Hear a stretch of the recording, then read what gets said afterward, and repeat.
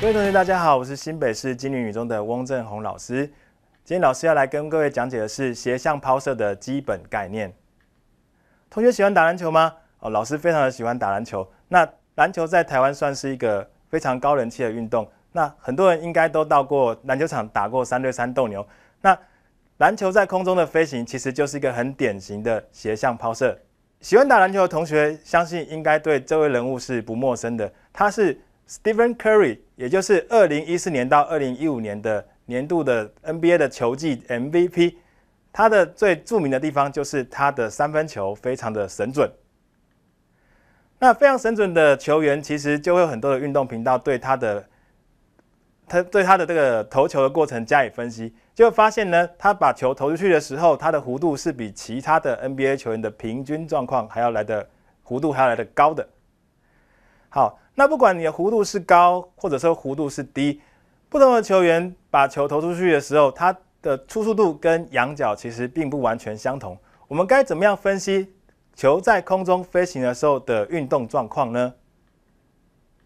好。要解决这个问题，让我们先回顾一下我们前面在水平抛射的时候的解决方式。水平抛射在水平方向上是做等速度运动，那在牵直方向上是做初速度为零的自由落体运动。其实我们也可以用相同的方式，把斜向抛射拆解成水平方向跟牵直方向的运动来加以分析。好，其实斜向抛射的分析，它跟平抛有很多的相似之处。我们如果把刚刚的水平抛射的黄球呢，复制一张图片，然后加以镜像到左边，把它连接起来，你会发现，其实现在这个黄球的轨迹呢，就是一个斜向抛射的轨迹。那同学有没有发现有什么特别的地方？同学同学有没有发现，如果以最高点为分界的话，这个球如果从左边被抛出去，然后右边往下掉，它的上升过程跟下降过程其实是相互对称的哦。也就是说，斜抛的后半段，也就是下降过程，其实就是水平抛射。好，各位同学可以回想一下，我们在前面所学到课程当中，有什么样的运动是上升过程跟下降过程是相互对称的呢？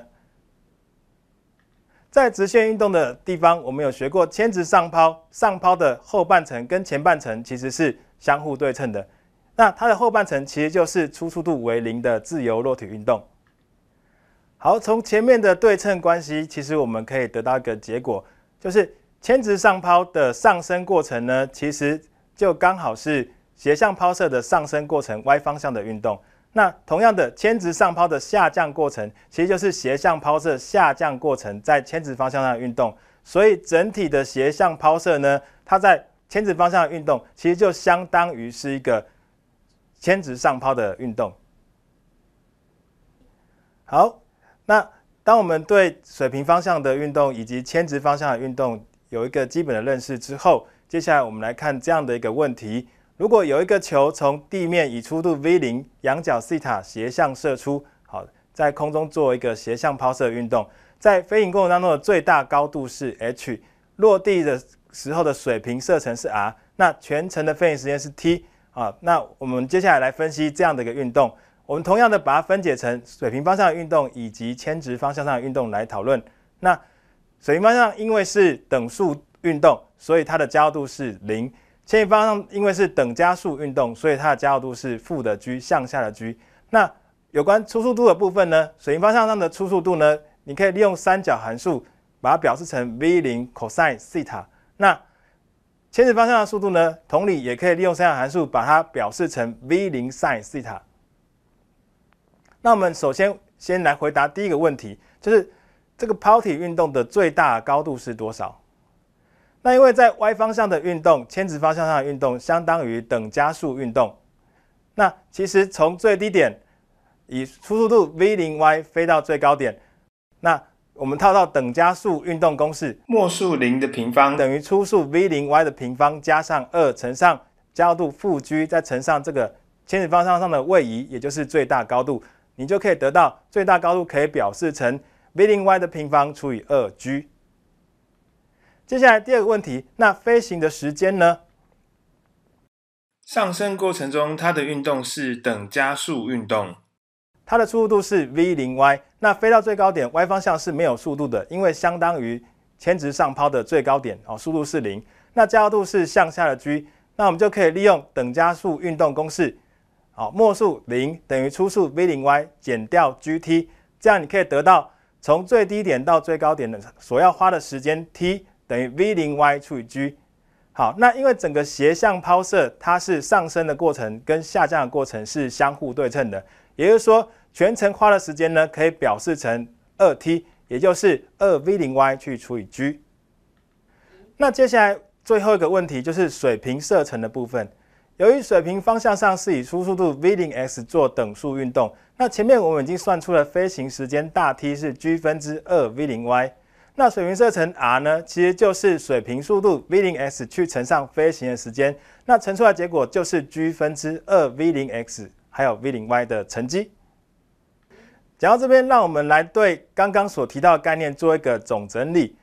斜向抛射在飞行的时间部分呢，可以表示成 g 分之两倍的 v 零 y，最大高度的部分呢，可以写成二 g 分之 v 零 y 的平方。那水平射程呢，可以写成 g 分之二 v 零 x 跟 v 零 y 的乘积。好，这是直接用水平方向以及牵值方向的速度的分量得到结果。那如果你把水平速度呢，把它表示成 v 零 cosine 西塔，牵值方向速度 v 零 y 呢，表示成 v 零 sin 西塔。好，最后。可以重新得到这样的结果，那这样看起来好像很可怕。那其实只是把上面的三角函数带到这个 v 零 x 跟 v 零 y 之后就会得到的。那有一个比较特别需要提的是，各位可以看一下水平射程，它是 g 分之二 v 零 cos 西塔，还有 v 零 sin 西塔乘积。哦，各位数学上应该有学过倍角公式，两倍的 sin 西塔 cos 西塔其实是 sin 二西塔。所以水平射程呢，我就可以表示成 g 分之 v 零平方 sin 二西塔。好，那当我知道水平射程可以这样表示之后，好，各位同学可以思考一下这样的问题：如果我们以相同的输出、不同的仰角，要把球从地面上抛射出去，而达到最大的水平射程，那这个仰角应该是几度呢？根据刚刚的式子，r 等于 g 分之 v 零平方 sin 二西塔，从这个式子可以知道。如果你的出度 v 零还有中位加速度 g 值是定值，那影响水平射程呢，就是后面的 sin 二西塔的值了。那我们知道 sin 二西塔在西塔等于四十五度的时候，它会有一个最大值。那也就是说，在西塔等于四十五度的时候，它的水平射程会最大。也就是说，你要让一颗球抛出去，飞得最远，就是以仰角四十五度角把它抛出去。好，接下来我们可以来看一下几个。生活中比较常看到的问题，或者说你在电视上可能会看到的问题，好，就回到老师最喜欢的篮球运动来讲。好，刚刚讲到那个神射手 Curry，如果今天神射手 Curry 呢，他跳起来的时候，他是跟篮筐是一样高的，那他在三分线上出手了，他出手的时候，他是以四十五度角出手，然后这个球呢在空中飞行的距离呢，其实就是三分线到篮筐的距离，大概是十五公尺。第一个问题是，请问飞出去的时候，这个球的水平速度是多少？然后另外呢，球飞出去的初速度 v 零又是多少？先来看这个问题。我们知道球在水平方向的运动是个等速运动，哦，以 v 零 x 做等速运动。那水平射程呢，十五公尺就是这个 r，它会等于水平速度 v 零 x 呢乘上球在空中飞行的时间。好，那前面提到这个飞行的时间。是一点二五秒，那水平射程呢是十五公尺，所以我要找水平速度呢，其实就是十五去除以一点二五，这样会得到水平的射水平的速度其实是十二公尺每秒。好，找出了水平速度，其实找初速度 v 零就不难了，好，因为你的抛出去的角度是四十五度角，那我们知道水平的速度是每秒十二公尺，那从等腰这条。三角形的三边三个边长的关系，我们知道初速度 v 零应该可以表示成水平速度的根号二倍，也就是十二根号二公尺每秒。好，第二个问题，好，如果今天 Curry 在出手的时候是有受到这个防守者的封阻的，那像这样的情况下，如果同学有这样的经验，应该会试着要把投出去的球的角度调高，以避免被盖火锅嘛。那假设今天球改成以仰角五十三度被投出去，请问这个时候的水平射程将会变成多少？好，速度跟刚刚一样哦，是十二根号二公尺每秒，只不过这时候的抛出去的角度改成是仰角五十三度。那我们知道水平射程可以表示成 g 分之两倍的 v 零 x 跟 v 零 y 的乘积，就是水平速度跟牵直方向速度的乘积。那水平速度跟牵直方向的速度又是多少呢？哦，从底角为五十三度角的直角三角形的三个边长关系来看，我们知道。水平速度可以表示成五分之三的 v 零，那牵直方向上的初速度可以表示成五分之四的 v 零。那如果你把它带到水平射程的式子里面，好，你会得到这个时候的水平射程会比较小，会变成只有十三点八公尺。也就是说，跟十五公尺的篮筐距离做比较的话，其实它是投不到篮筐的。那也就是它会投出一个大面包。好，那各位同学讲到这边。相信各位同学可以发现，在生活中所有的球类运动其实都是跟斜向抛射是相关的。所以以后如果你在打篮球的时候遇到了防守者的封阻，你应该要怎么样才可以把球投进呢？如果你要调整你的出手的仰角的话，那是不是就是要想办法让球飞出去的初速度是大一点，才有机会可以投进哦？好，我们今天的讲解到这边，谢谢大家。